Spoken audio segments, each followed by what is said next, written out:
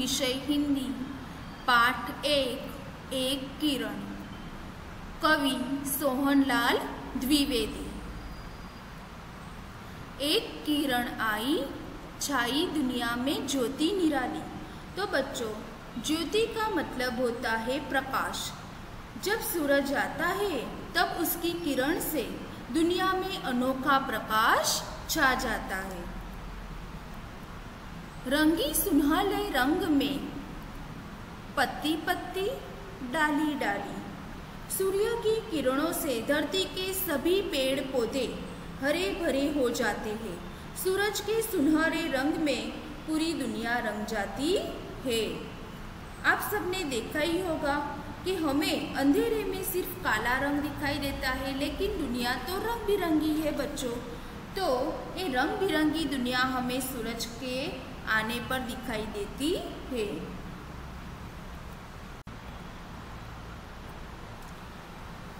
एक किरण आई, लाई पूरब में सुखद सवेरा। सूरज की किरण आती है और पूरब में सुखद सवेरा लाती है। सुखद सवेरा यानी कि सुख देने वाला सवेरा। सवेरा होने पर अंधेरे के काले बादल हट जाते हैं और सूरज पूरी दुनिया में प्रकाश फैला देता है।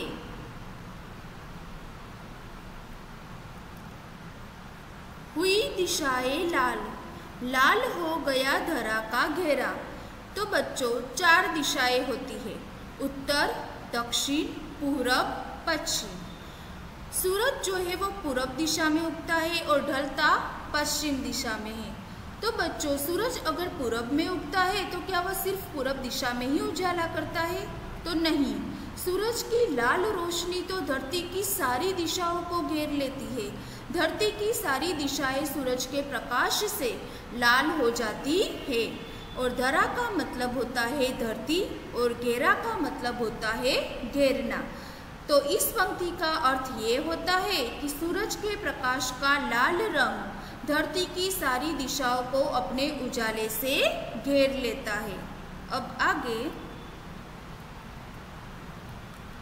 एक किरण आई, हंस हंस कर फूल लगे मुस्काने।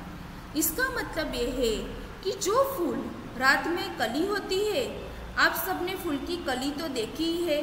वो कली सूरज के आने पर, यानी कि सवेरा होने पर खिल उठती है।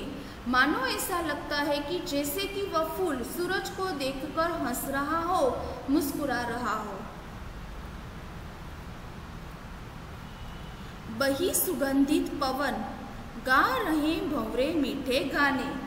मतलब कि फूल खिलने पर फूलों की सुगंध हवा में मिल जाती है और हवा की वजह से फूलों की सुगंध चारों तरफ़ फैल जाती है।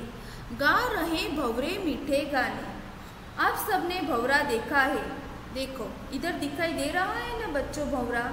इसे भवरा कहा जाता है। और भवरे की आवाज़ कैसी होती है? तो गुनगुन होती है उसकी आवाज़। और गान का मतलब होता है गीत। मतलब कि सूरज के आने पर भवरा भी अपना मीठा गीत गा रहा है। एक किरण बन तुम भी फैला दो दुनिया में जीवन। मतलब कि आप भी सूरज की किरण की तरह अपने गुणों से इस दुनिया को सुंदर बना सकते हो। जिस प्रकार एक किरण के आने से धरती पर चारों ओर उजाला हो जाता है, आपको भी अपने जीवन में ऐसा कार्य करना है कि अपने माता पिता समाज, स्कूल और देश का नाम रोशन हो। चमक उठे सुंदर प्रकाश से, इस धरती का कण कण तो कण कण का मतलब होता है छोटे से छोटा टुकड़ा, अर्थात सूरज के किरणों के सुंदर प्रकाश से। इस धरती का हर कण चमक उठता है और धरती सुंदर दिखती है। उसी प्रकार तुम भी अपने ज्ञान के प्रकाश से पूरी दुनिया को सुंदर बना सकते हो। तो बच्चों एक किरण कविता हमें यह संदेश दे रही है कि आपको भी सूरज की तरह बनना है और अपने ज्ञान और गुणों से अपना जीवन और इस धरती को सुंदर बनाना है। Thank you